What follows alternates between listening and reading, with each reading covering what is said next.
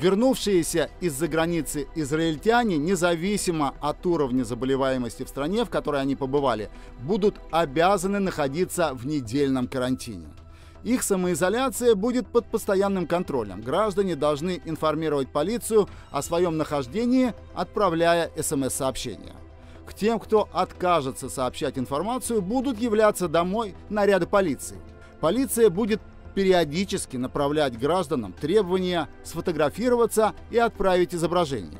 При этом навигатор смартфона должен быть включен. Это поможет определить, находится ли человек в домашнем карантине.